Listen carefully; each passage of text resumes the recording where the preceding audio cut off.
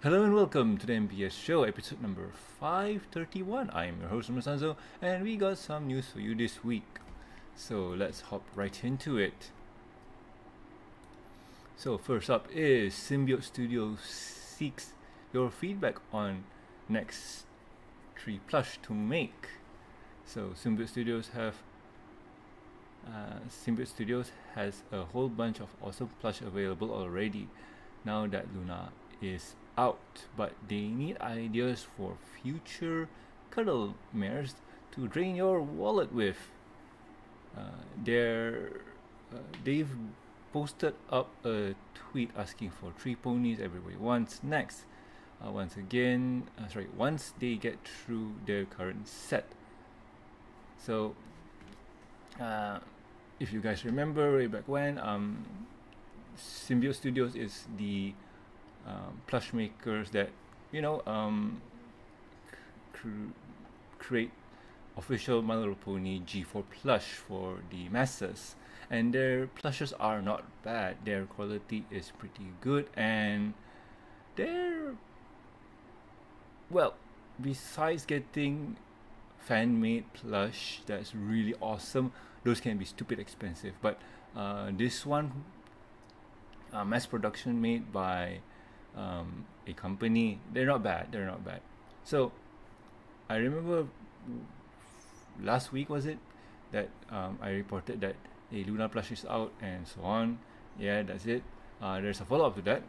A Symbiote Studios uh, future uh, future Luna plush getting revisions. I didn't see many complaints about Luna, but apparently Symbiote Studios is giving her an overhaul in the next round of productions. Revisions include bigger, lesser aggressive eyes and wider nose bridge and general wing revision according to their tweet. Uh, they expect to ship the next round in July.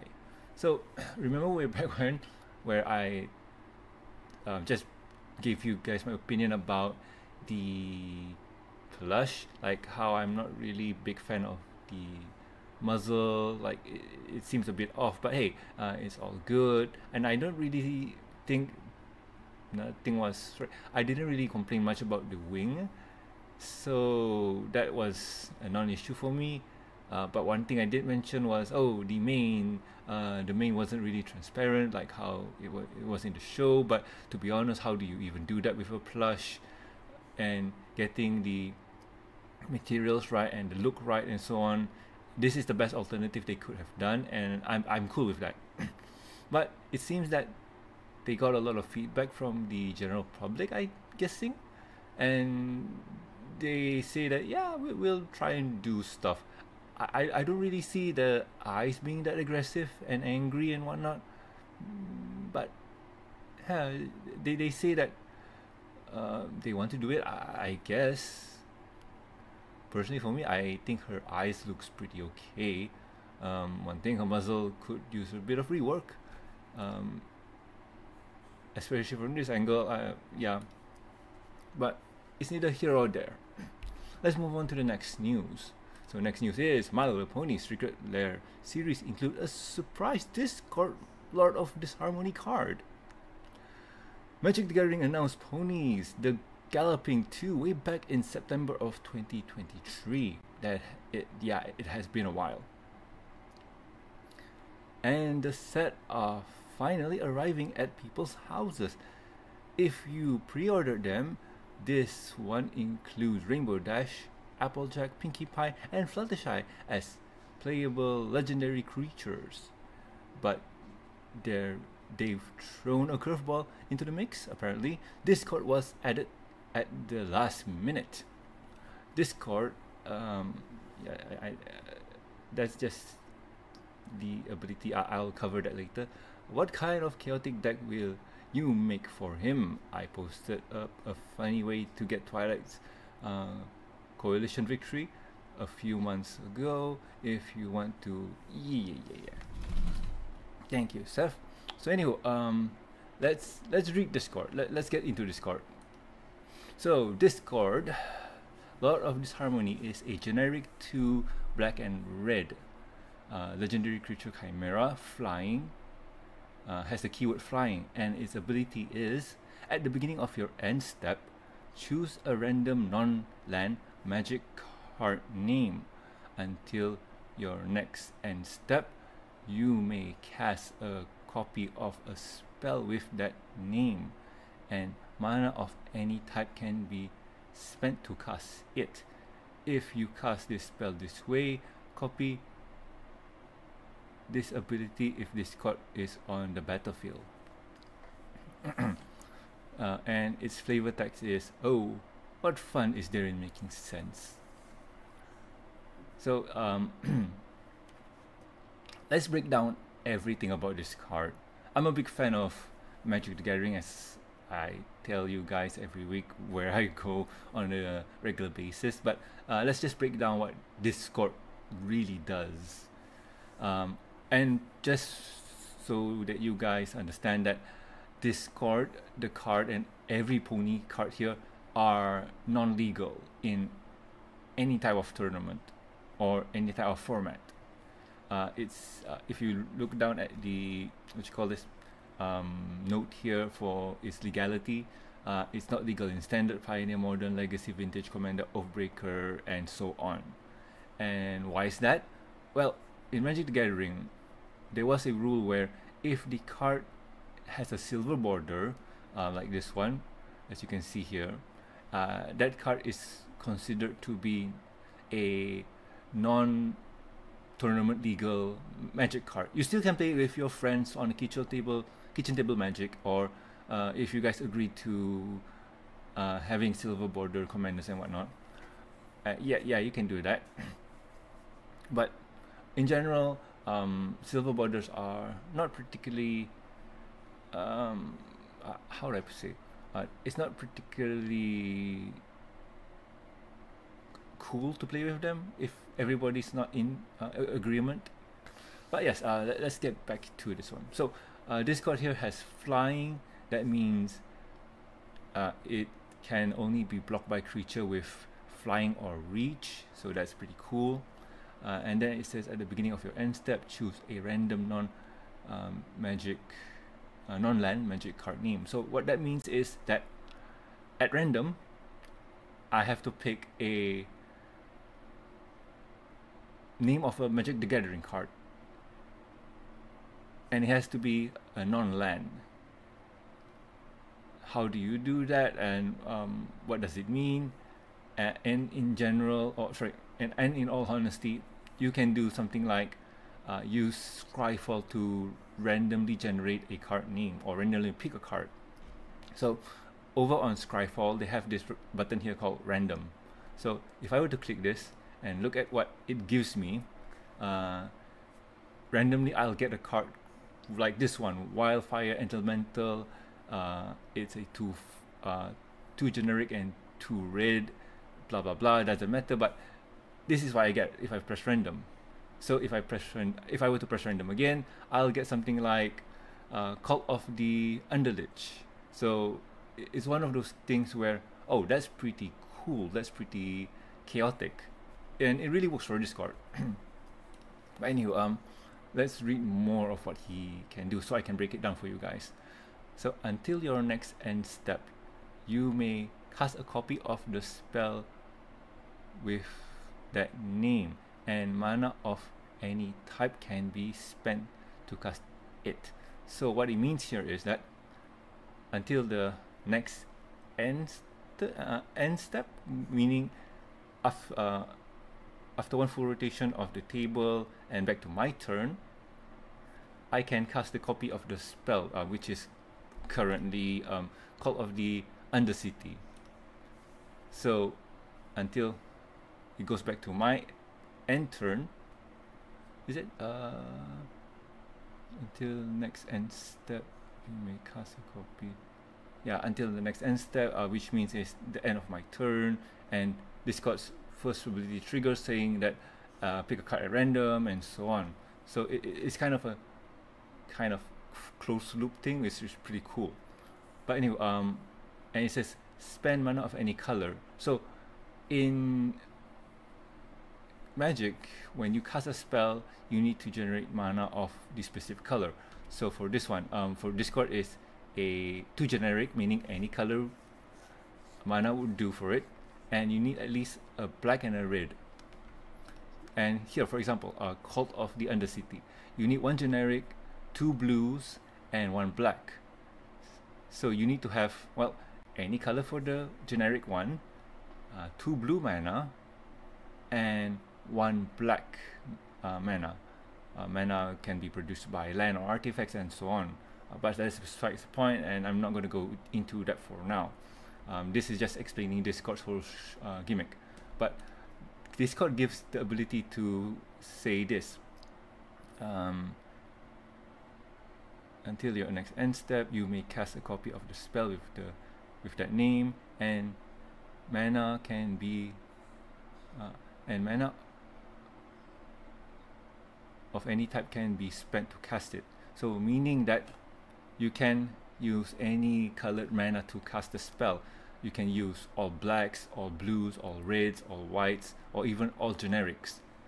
So that's what you mean. Uh, one of the few things that I'm breaking down and trying to understand here is that it says until your next end step, you may cast a copy of a spell with that name and blah blah blah blah blah. So does this mean that uh, it's like an extra card in my hand or something like that? So it could be just an extra card in hand. So uh, in Magic, usually your hand size is up to seven, unless stated otherwise. But generally, it's up to seven. So with Discord's ability here, the way I'm looking at it and I'm under trying to understand it is that I think that you'll get an extra card in your invisible hand kind of thing because of Discord's ability. Um, because it says um, at the beginning of your end step, choose a non-magical random until your end step, which is my uh, next end step, which is going to be my next turn before the first ability triggers. Uh, I can I can cast a copy of the spell uh, with that name and use mana of any type uh, any type can be spent and so on. You, you get the general idea. I, I've been repeating that a whole lot. So I, I'm guessing that's it because at first I thought you could just, it's just like, oh, this card, uh, this invisible name thingy here is a permanent, uh, is a fixture that I can just cast it all the time. So if I have a zero mana, uh, zero mana value card, I can just cast it infinitely and get a bunch of zero mana artifacts and so on. But I'm guessing that's not true because from what I can tell, it says that I really uh, says that I can cast the a copy of a spell with the name and add mana of any type, blah blah blah. So I, I, I just really need to sit down and really understand. But that's besides the point. That's besides the point. I'm I'm already going into deep in analysis, uh, analyzing this card. So anyway, um, the last effect for this one, which is pretty interesting, if you copy this spell this way, copy this ability if this card is on the battlefield. So what this tells me is that until the next end step, I still have this card. Um, meaning, okay, let, us just roll the random uh, random card name generator here and see what I get. Okay, uh, I get a Icefall Regent. it's in the phone. Let's just say that Icefall Regent is in the phone with Discord's ability. So what what I well, what hap- what will happen is that until the next turn, until my next end turn, whatever it is, is that I get Icefall Regent on the phone and I can cast it at any time I can possibly cast it. And then on the next end step, discuss things uh, ability triggers and I have to roll the random number generator giving me something like alpha status and so on. You get the general idea. So if I were to cast it at instant speed or if if Discord's gone I still can cast it but uh, the first this Discord first ability will not trigger because he's not on the battlefield because he was removed. For as long as anything happens, I can cast it's pretty fascinating. It's pretty fascinating. Sorry, I'm, I'm just geeking out because this is so much fun. I've been thinking about how to do Discord because um, red black is kind of my color that I like to play with previously. But so anyway, um, if Discord is on the field, if I were to copy or if I were to cast alpha status, and if Discord's on the field, I'll get another copy of alpha status, meaning I have two of this card. Let's just say I roll uh, roll again. I'll get uh, Herald of the Fair, uh, two and white.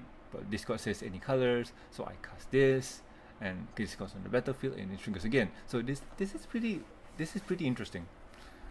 Wow, but I'm I'm really fascinated by this part here, like this few lines here, because until your next end step, you may cast a copy of a spell with that name, and mana of any type can be spent to cast it. Mostly is the first part here where uh, until your next end step, you may cast a copy of the spell.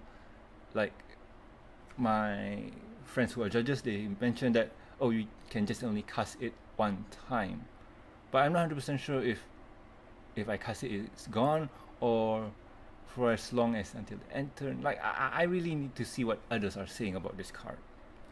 no rules here, obviously. But uh, besides the point, um, yeah, you're probably wondering, oh Norman, you've been talking about this a lot. Um, did you get it? I mentioned before, I got the drop, and ta-da! Oh no, that's bad. Oh no, yeah, manual focusing is not great. But anywho, yes, I got it. I got it and I pull out of the awesome Secret Lair box, which um, Hasbro has made it smaller because previously it was big. So this box is pretty cute and cool.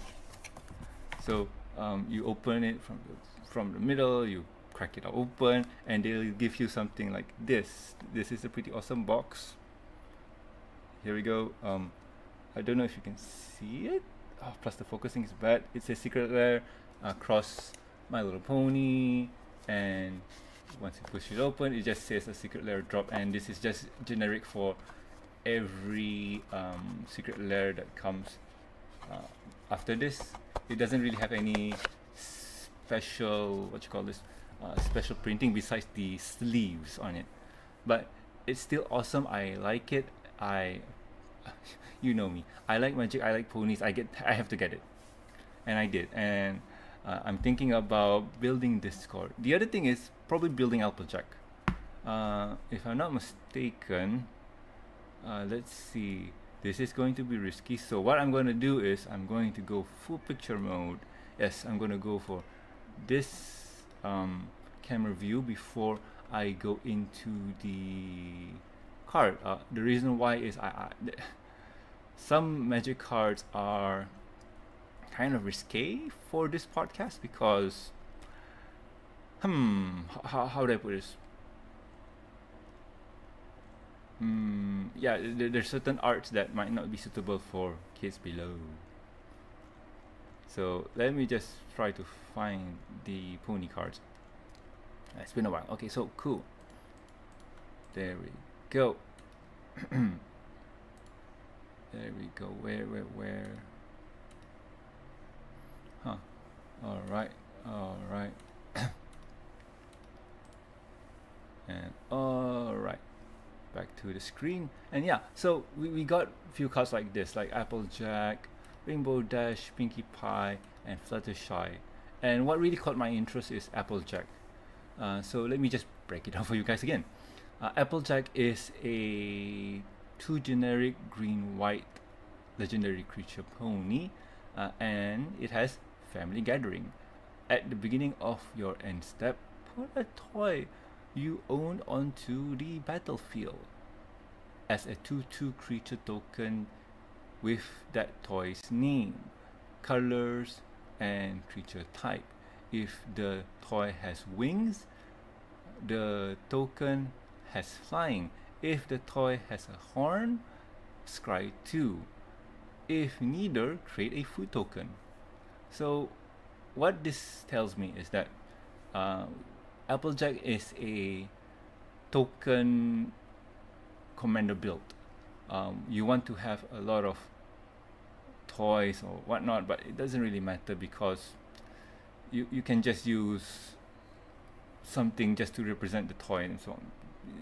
The idea is just to fill the board with awesome toys that you have or whatnot. If you're playing Warhammer, you can just put those little uh, mini uh, miniatures on top of the table and say, "Oh, this is my army," and so on. But the idea is just to have fun, litter your board with tokens and so on. It, it's, it's really awesome. So the the full description here is like okay, let's just say it's uh, at the beginning of my end step. Okay, so my end step happens. I create a token, a two two creature token with the toy's name. Uh, it it's a bit ambiguous on what type of creature they are. So, for example, let's just say I pull out my RX-78 Gundam onto the table. Uh, I'll put it out there, and it's a 2-2 creature token with the toy's name, color, and creature type. So what this tells me is that uh, it's a RX-78 Gundam. Uh, colors are white, blue, red, and yellow. I guess. And then uh, the creature type is a robot or mecha, probably robot. So yay, and let's see. Does it has uh, does it have wings? No, it doesn't. Okay, does it have a horn? No, it doesn't. So um, if it has wings, it can fly. If it has horns, I'll get to look at the top two cards of my library and decide if I want to put them on top or bottom of my library. And then uh, if it has neither, I'll create a food token, which is kind of cool with Applejack because she feeds the people. That's awesome. So Applejack here is kind of fun in that sense where if you get the ability to double up your tokens, you, you can do it. But uh, I, I'm trying to understand here. At the beginning of your end step, put a toy you own onto the battlefield as a creature token with the toy name. So, uh, ah boy, this is going to be, huh? So I'm guessing, because because this is wacky. At the beginning of your end step, that means at the end of my turn, put a toy you own, blah blah blah blah. Uh, to do creature token. So if there's an ability that creates another token, so if you put one, let's just say one one Gundam.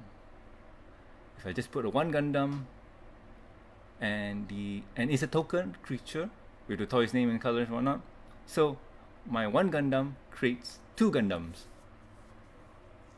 That's going to be very confusing in the long run. Very confusing. Huh. Yeah, now, now that's cleared up. Still confusing. Wait. Oh, this is. This is. Havoc. Because it says here um, at the bottom line uh, if it's neither, if it doesn't have a horn or a wing, uh, create a food token. So that means, like I mentioned before, if I have a token doubler, pulling out a Gundam creates me two Gundams, and if the two of them are not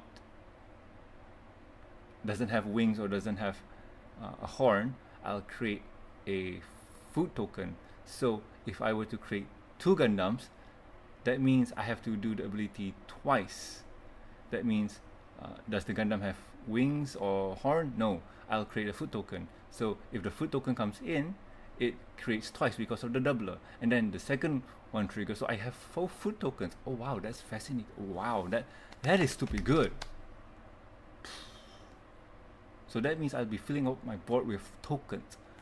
Oh, that's that's going to be chaotic.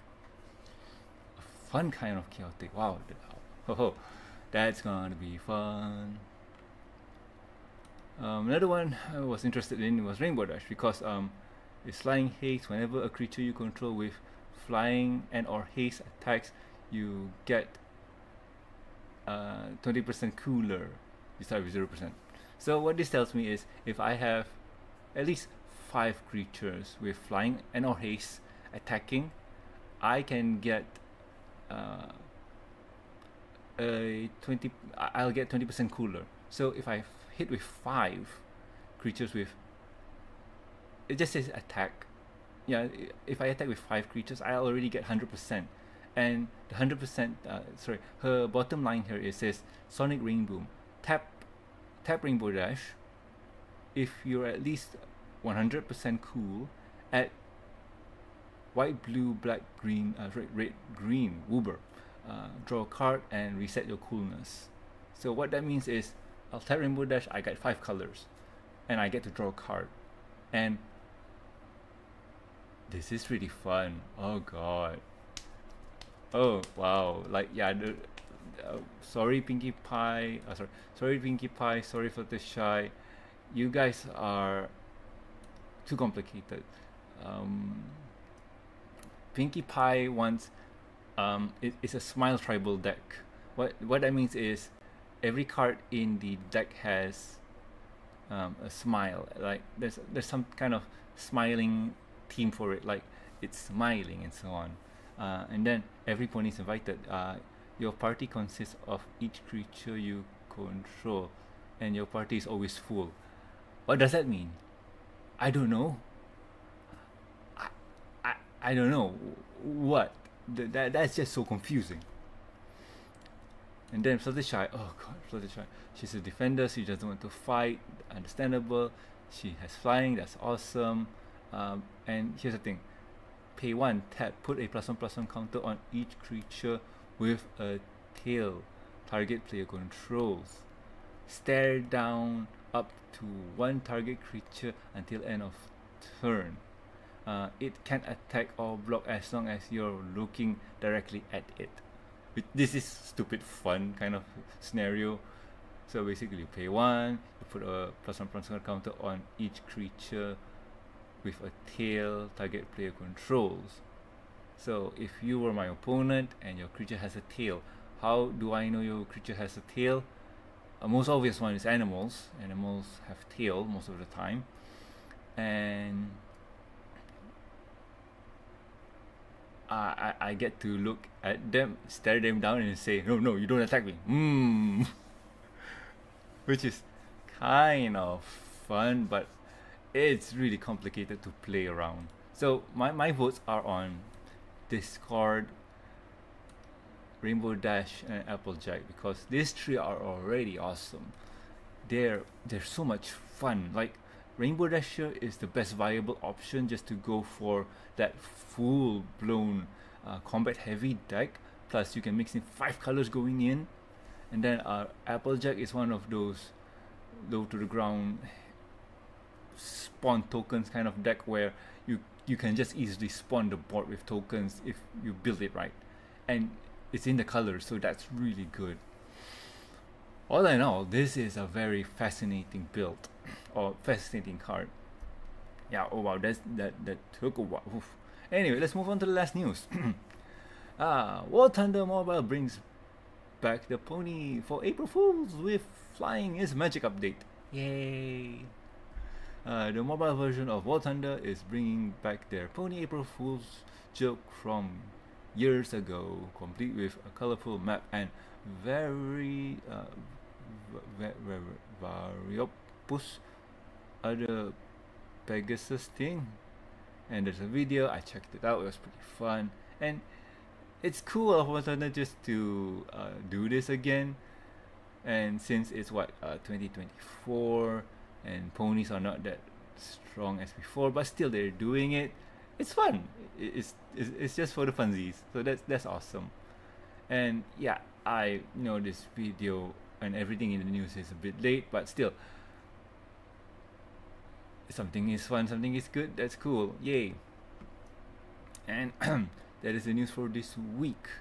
So let's go on to the next topic. Uh, what have I been doing with my month, I guess. So um, besides Magic and D&D, I picked up something new. one of the few things that I've been doing lately is to play badminton. And it, it's kind of a if you got no idea what badminton is, uh, pause here and go uh, do a Google search because um, it's kind of awesome and cool. Welcome back. So, um, I've been playing badminton for a bit now, like I think what, three weeks in a row, so that's awesome. Uh, it gets me all worked up, um, sweaty and whatnot, so yay, um, at least I'm working out, at least I'm doing some exercise, so that's awesome. Uh, what else? So, um, give a second. Yeah, so I've been doing that, and it, I, I've I've kind of enjoyed it, like uh, playing with my friends and whatnot. That that's the fun part where you got friends to play with and just to work out. So yeah, that's pretty cool.